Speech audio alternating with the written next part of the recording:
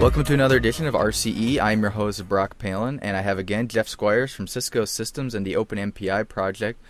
Jeff, we have a interesting little show today. Yes, we do. Yes, uh, some guys that I've actually known for for quite a long time, and uh, a lot of people come up to me and say, "Hey, do you hate those guys?" And no, we don't actually. And and just so you have no idea what I'm talking about, we're talking about the MPitch guys. And uh, as a matter of fact, little known fact, one of our one of our guests today was on my PhD dissertation committee. So we actually go way back, and the collaboration between our teams actually goes way back as well. Uh, the website for RCE always is rce-cast.com. There's a RSS feed and the, of course the iTunes feed there, and you can find old shows. And there's a nomination form if you want to nominate anyone else to be on the show. Also, you can find uh, my Twitter account on there where I will post who's coming up on the show and do a call for questions. If there's anything you ever want to have asked on the show, please include it. Get a little shout out on the show. Uh, my Twitter name is Brock Palen, B R O C K P A L E N.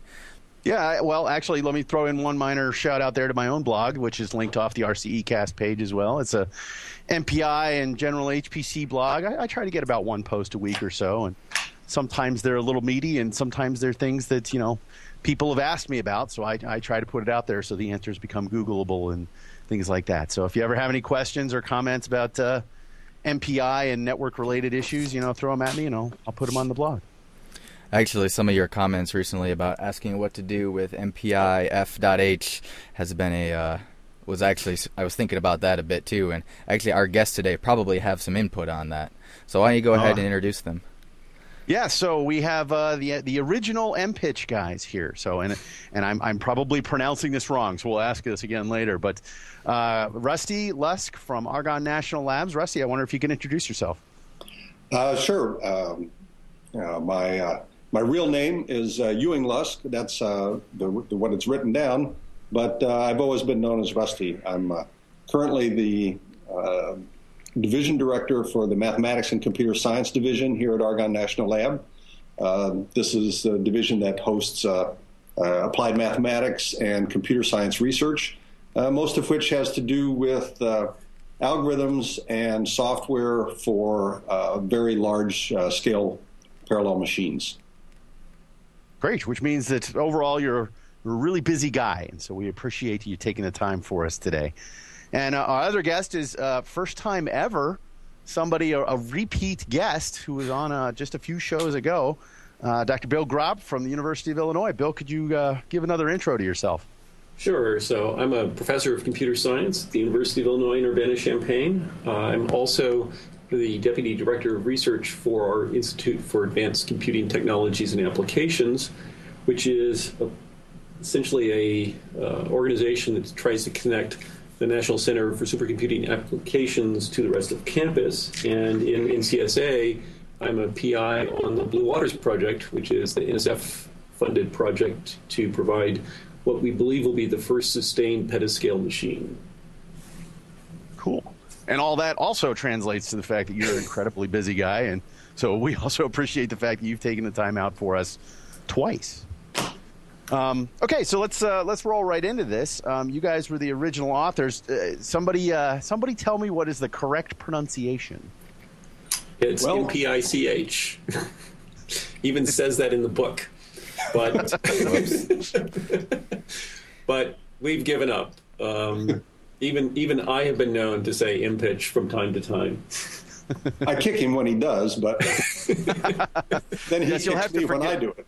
You'll have to forgive me because throughout the course of this, I am sure that I will say it the wrong way, just because it's been it's it's, it's so ingrained. Uh, I, it's okay. I apologize. We give you permission. well, thank you.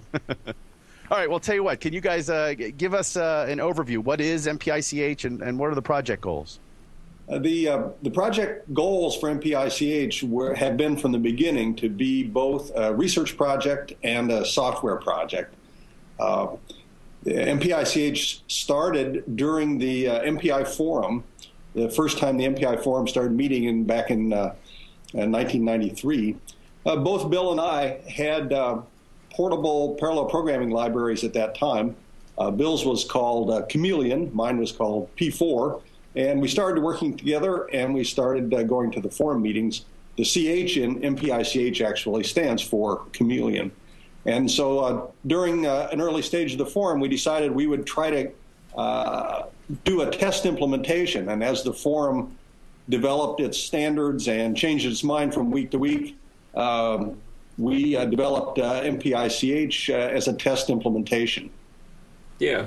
So, yeah, I think one of the interesting things was that um, when the MPI effort was just getting started, I was watching the discussion on one of the news groups discussing the C language, and the GNU guys were tracking all of the uh, various ideas and discovering what worked and what didn't. And I just thought this was great. So when the group that eventually became the MPI Forum got together at the uh, pretty infamous Minneapolis supercomputing meeting, uh, we decided that we would commit to doing the same thing, having a rolling implementation uh, that allowed us to check out how implementable or how uh, uh, well defined the ideas were. And um, that also then allowed us to have an implementation was ready to go the moment the standard was finished. Of course, this is not how you're supposed to do software. You're supposed to wait until the spec is finished before you start coding. Um, so we were really doing exactly the opposite thing in order to help debug the spec. But I think the, the fact that uh, once the uh, spec was finished, the, then the first implementation was finished, uh, did help get MPI off to a running start in terms of uh, adoption. So M- MPICH was the I almost said MPICH there. MPICH. okay. MPICH was the very first implementation of MPI from the first forum. Right. Yeah, there there were a couple of others that appeared shortly there, shortly after we did MPICH, but uh, MPICH was done. Uh, basically, it was done before we voted on the standard. Uh, it was definitely first. so, how different is MPI from Chameleon and P4, or are most of the ideas there the same? There are a lot of differences. The um, uh, uh, at the time, message passing layers had different um, semantics, so they all gave send and receives, but there were different ways in which um, different meanings for some of the tags, or when messages were delivered, uh, when you could reuse messages, and so forth. Um, and uh, Chameleon, in particular, tried to provide a sort of general portability layer, but papered over some of those details. It was still fairly effective, but it didn't include a lot of the features that are in MPI to support, for example, the use of or the creation of modular software and the use of libraries. Um, I'll let uh, Rusty comment on the P4 um, parts, but one of the I think the big things is that through the forum's effort, MPI became a, a complete and well thought out collection of routines, and there was no library, even from the vendors uh, at the time, that was as um, as consistent and as well thought out. Yeah, I, w- I would say the same thing. Uh, P4 was uh, uh, our uh, attempt to try to uh, get some level of portability across the existing system, so that every all the vendors competed with one another at that time on their message passing API as well as on their hardware and their performance. And uh, this was, of course, a hopeless situation for applications. And so P4 was invented as a way to write a portable application that would run on all the various uh, parallel systems of the time. Uh, and it, it uh, I would say, um, it, it, didn't have anywhere near the ambition of the MPI forum in terms of defining, as Bill said, a, a complete system with uh, carefully thought out uh, semantics, and also uh, a lot of new ideas came in MPI. It, wasn't just a, a, portability layer; it had had new ideas in it that uh, that none of the existing systems had. Um, Bill mentioned especially uh,